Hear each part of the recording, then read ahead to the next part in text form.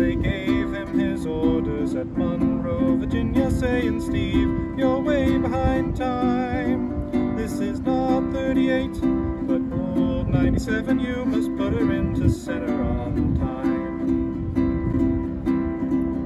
He looked around and said to his big greasy firemen to shovel in a little more coal.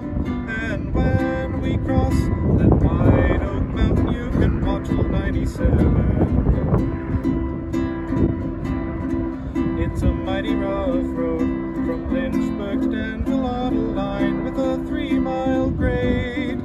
It was on that grade he lost his air brakes, and you see what a jump he made. He was going down the grade, making 90 miles an hour, when his whistle broke into a scream.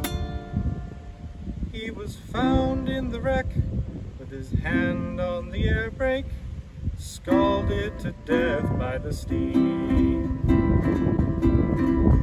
Now all people you must now take warning from this time now and on. Never speak harsh words to your